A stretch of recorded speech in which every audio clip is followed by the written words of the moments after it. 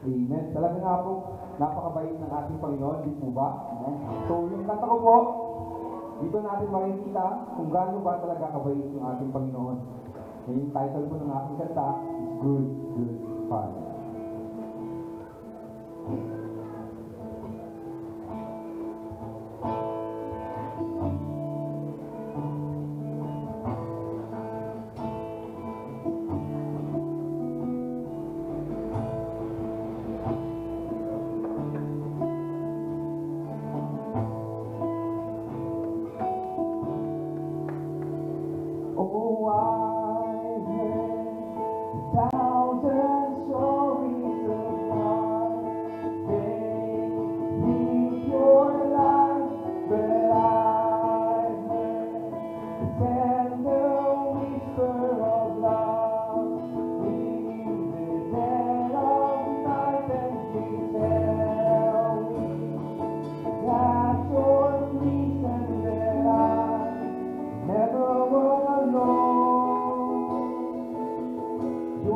Thank you.